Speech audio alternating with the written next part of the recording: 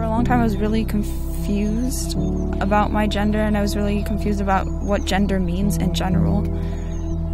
Because some people have this internal sense, I guess, and they know that they're a girl or they're a boy from a very young age, but that wasn't the case for me.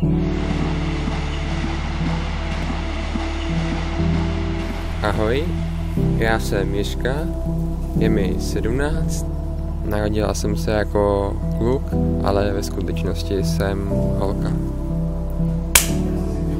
Při prvním pohledu na mě ti pravděpodobně napadne, je to kluk nebo je to holka.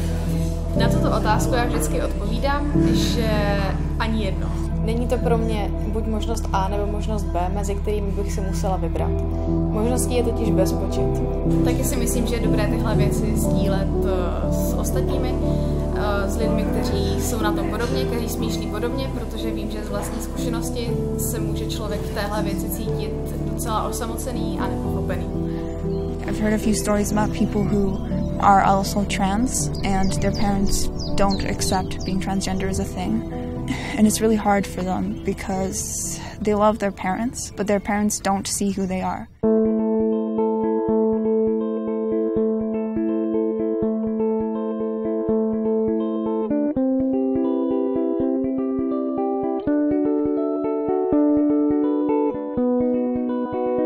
Tak jsme začali jako jenom budovat toho člověka a přitom jsme viděli jako spoustu jako a teď vypadá jako kdyby měl šaty a teď vypadá jako kdyby tohle a teď vypadá jako kdyby tohle a vlastně celou dobu se nějak přeměňoval. Lidi se často bojí neznámého.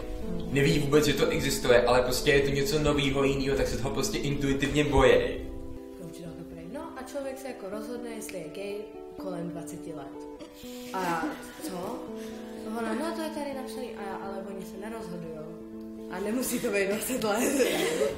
Já jsem se ke skupině dostala v zásadě náhodou vlastně na jejím prvním setkání na Prideu 2016. Jako každý člověk mýho věku mám spoustu otázek a hledám na ně odpovědi a myslím si, že v tom je skupina tohohle typu hrozně užitečná, protože vám umožňuje setkání s lidma, který řeší podobné otázky jako vy a který normálně máte trochu problém potkat, protože je nás méně než většiny.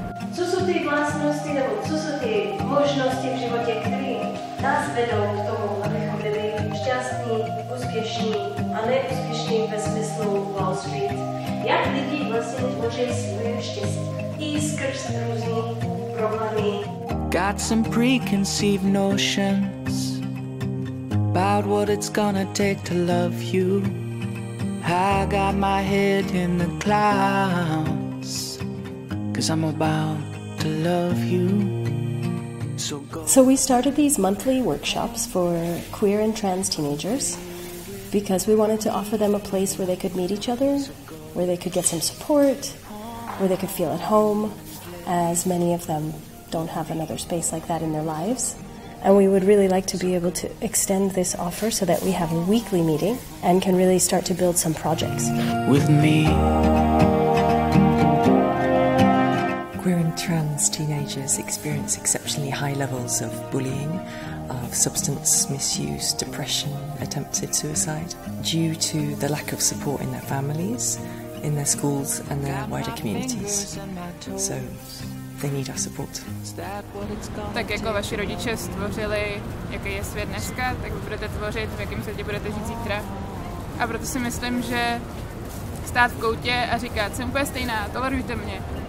A vůbec si mě nevšímejte, uh, vám nevytvoří to místo, neudělá ten svět takový, jaký chcete. A v tom si myslím, že je potom skvělý se spojit a dělat něco pro to, aby byl svět takový, jaký ho taky trochu chceme my. Got my fingers and my toes. Is that what it's gonna take to love you? My mind always knows I'm always gonna love you.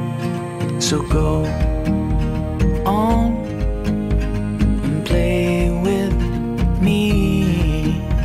So go on and play. And all I wanted was this. This is the only thing I'm missing. All I wanted was this, and I want you. got my arms and my legs. Is that what it's gonna take to love you? I've got my eyes and my ears. Is that what it's gonna take to love you?